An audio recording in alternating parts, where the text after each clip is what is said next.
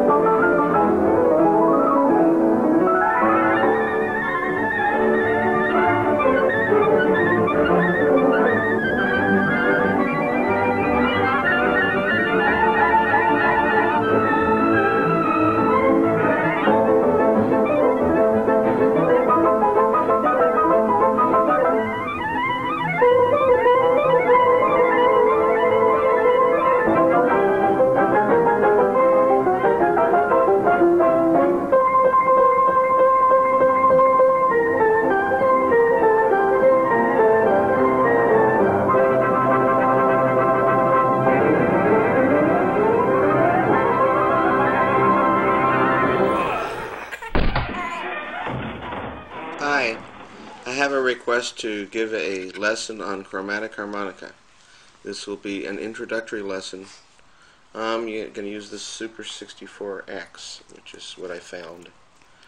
Uh, the chromatic harmonica is, as you might guess, a harmonica which is chromatic. Huh?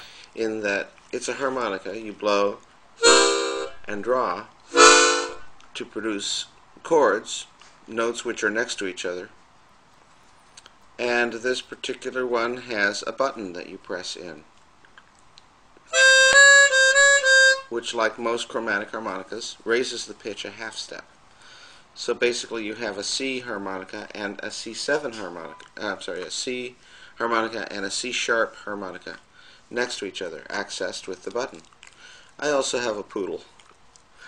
Um, so you can get all the notes of the scale by pressing the button. Let me explain that there are chords and scales in music. And the scales are all formed from the notes of the chord and the notes in between. In the case of the C, the notes of the chord are C, E, G.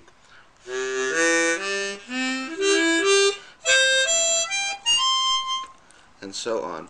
This particular chromatic harmonica, I've tuned blow 4 to a B flat so that I can, it just makes more sense to me. It's called bebop tuning. Oh. It's what I've uh, tuned all my chromatics to for the most part.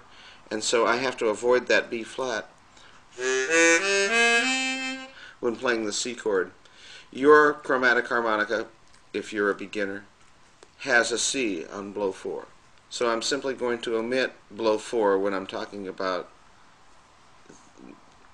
this first lesson, talking about the chromatic harmonica.